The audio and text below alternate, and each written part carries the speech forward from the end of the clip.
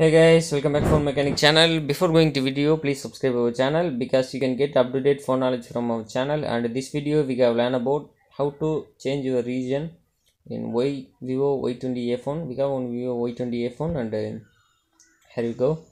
First of all open your setting. Uh, then choose system last one.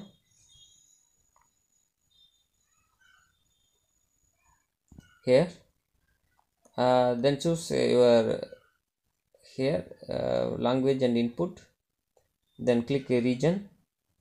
You can see here a lot of region available. Uh, you can choose your own region language. And my region language is uh, india. I can choose it also. I just select now australia. And i go to back again my india here down one.